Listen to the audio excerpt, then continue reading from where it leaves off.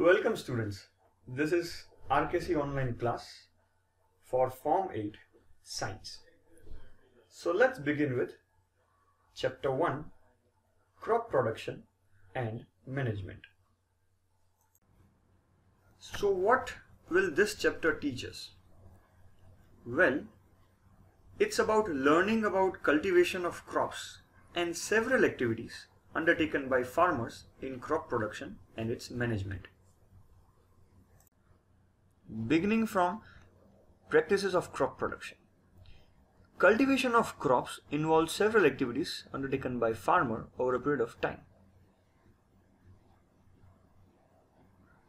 These activities or tasks are referred to as agricultural practices, which involves preparation of soil, sowing, adding manure and fertilizer, irrigation, protecting from weeds, harvesting, and storage. Let's have a look at the step 1, which is preparation of soil. One of the most important tasks in agriculture is to turn the soil and loosen it. This allows the root to penetrate deep into the soil. The loosened soil then helps in growth of earthworms and microbes. Microbes are the good microorganisms. So these earthworms and microorganisms are friends of farmer since they further turn and loosen the soil and humus to it. This process is known as tilling as well as ploughing. Ploughs are made up of wood or iron. Before ploughing, soil needs watering. The ploughed field may have big pieces of crumbs which have to be broken with a plank. The field is leveled for sowing as well as for irrigation purpose. Before sowing the seeds, it is necessary to break soil to the size of the grain to get better yield. This is done with the help of various tools. The main tools used for this purpose are plough, hoe and cultivator. Plough. This is being used since ancient times for tilling the soil, adding fertilizer to the crop, removing the weeds and scraping of the soil. This implement was earlier made of wood and has now been replaced by iron. It is drawn by a pair of bulls or other animals such as horses or camels. The next implement is hoe.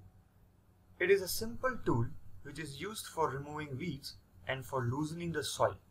It is a long rod of wood or iron. A strong, broad and bent plate of iron is fixed to one of its ends and works like a blade. Our next implement is a cultivator. A tractor driven cultivator does nowadays plowing. The use of cultivator saves labor and time. Stage 2 is sowing.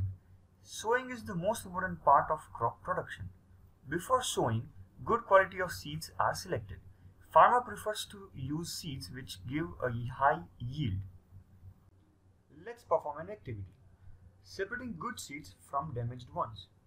Take a beaker and fill half of it with water. Put a handful of gram seeds and stir well. Wait for some time. You will see some of the seeds starts floating on the water. Damaged seeds becomes hollow and float. Good seeds settle down. This is a good method for separating good, healthy seeds from the damaged ones. Let us study about the tools used for sowing seeds. Traditional tools. This tool used traditionally for sowing seeds is shaped like a funnel. The seeds are filled into a funnel and they pass down through two or three pipes having sharp ends. However, as modern techniques, seed drill is used for sowing with the help of tractors. This tool sows the seeds uniformly at proper distances and depths. It ensures that the soil covers seeds after sowing. This prevents damage caused by birds. Sowing by using a seed drill saves a lot of time and labor. An appropriate distance between the seeds is important to avoid the overcrowding of plants. This allows the plant to get sufficient sunlight, nutrients and water from soil. Stage 3 is adding manure and fertilizer.